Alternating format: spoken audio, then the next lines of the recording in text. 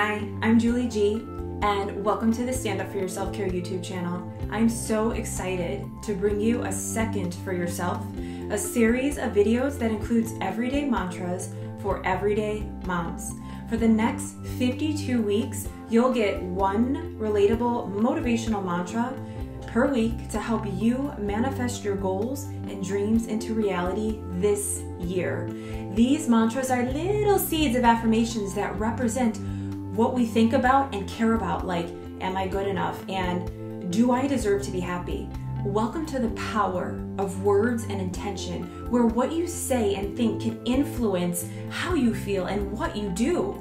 Each new day brings new opportunity, and today is our day. And this is your official invitation to take a second for yourself.